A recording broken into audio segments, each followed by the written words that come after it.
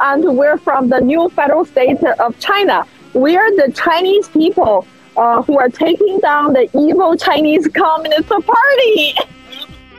yes, absolutely. So, after you, hey, Yeah. you guys, you think that this crazy Putin will attack uh, Hong Kong or Taiwan or something? Uh, we are deeply concerned about uh, Taiwan. We know that the Chinese Communist Party has already stripped uh, the Hong Kong people of the, their freedom and broke the promise made to the uh, Hong Kong people for their self autonomy. And right now, they, uh, we're worried about uh, the uh, the uh, the people in Taiwan because the next step, uh, the Chinese Communist Party might launch an attack. Like signs that they will attack Taiwan? Uh, I think uh, the the root of the evil problem is the Chinese Communist Party, and we, the members of the new federal state of China, we are taking down the CCP. So we're going to defend freedom and democracy and peace and humanity for all of you. Thank you so very much. We have uh, hundreds of millions of people who are working tirelessly behind us. We're the new federal state of China. All the Chinese freedom loving people are going to take down the CCP and help improve the humanity of the entire world because you know, Yeah. because you know the Chinese Communist Party has attacked the uh, democracy and freedom and the humanity everywhere. and uh, the CCP is a is just exporting a wrong image to the world that we are. They are they are a danger for humanity.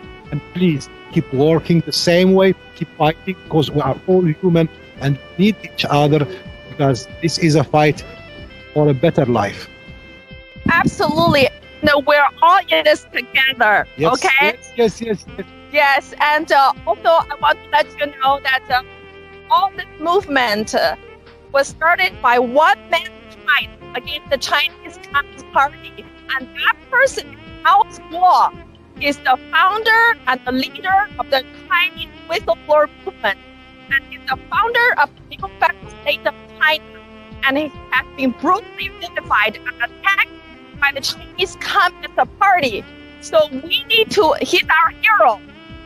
Uh, we, we should follow him. I mean, uh, they don't have to tell us stories about Mao Zedong and uh, the other stuff that we don't believe that they brought a good thing for us. They only brought communism and s- sufferance and struggle and all. So we need a better life with a better freedom, a better uh, democracy and all. Thank you for what all you are doing. Thank you. Thank you so very much. CCA, CCA, thank you. I'm so proud of these guys, and uh, I want them to be, I mean, helped more by the Westerns, by the UN, by uh, all the organizations. I need, I, I think that they deserve also a powerful help and support and boost just to do something that is legal, that is human, that is uh, a need change in a in China to be a wonderful part of the humanity better than the way the CCP is uh, is doing now.